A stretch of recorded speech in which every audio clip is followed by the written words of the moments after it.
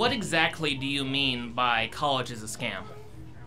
Um, good question. I wrote a whole book about it. Uh, largely, the value proposition that you are being offered is not worth the time or the money that many of you are forking over. There's exceptions to that generally, but uh, for example, the vast majority of students that graduate from four-year college, uh, they'll end up getting a job if they get a job at all in a uh, in a career or a job that doesn't require a college degree. So, henceforth, asking the question, why do they go to college in the first place? Okay, now what do you mean about uh, jobs that don't require a college degree? Like working at Starbucks as a barista. Okay. Uh, so, what exactly uh, do you mean by uh, the value proposition not being sufficient for the uh, cost of going to college?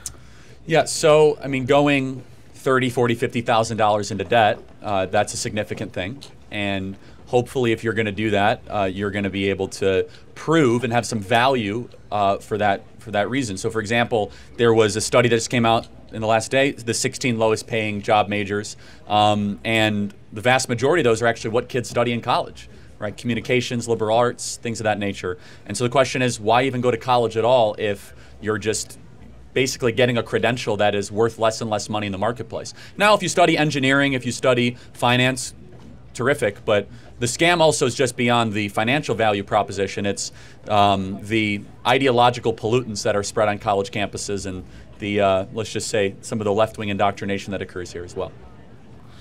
Okay, so moving aside from uh, that red herring there, uh, I myself am a uh, communication major, and uh, I am very well aware of the uh, communication majors who just take a four-year degree and uh, go into jobs that d- either don't require a degree or. Try to get as close to the mic as you can. Is that okay? Thank you. It's okay. Yeah. But anyways, uh, I'm aware of the communication majors who only get a bachelor's degree, and if they're lucky, they're only able to get research assistant jobs in communication, or not even get a job that requires a uh, degree at all.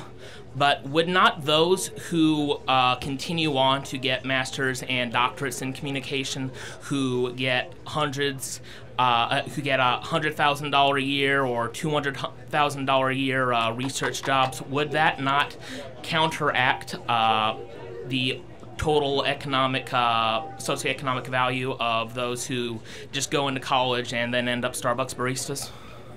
Uh, potentially, yeah. I mean, also master's degrees are expensive, right? PhDs are expensive, so you're looking at least at 150 to 200 thousand dollars in debt, minimum, uh, if you're going to do that. And if that's if that's the path you want to take, so be it. But there are 11 million job openings in the country right now that pay eighty thousand dollars or more that don't require a college degree.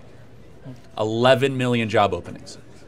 And I don't think we're always telling our young people, you know, the next generation that these jobs are available to you. It's an, it's an expectation that you go to four-year college, and in fact, you're treated and almost considered to be dumb if you don't go to four-year university. And I think that's a big mistake. And not to mention the vast majority, 41% of kids that enter college do not graduate.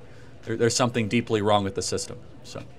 So, from what you're telling me, Yeah, though, final point. Yeah, uh, from what you're telling me, though, it sounds more like uh, the problem lies not in uh, college itself, but rather the individual paths that people choose who look at a situation, make the wrong decisions, don't stay in school as long as they uh, need to in order to get the career that they want.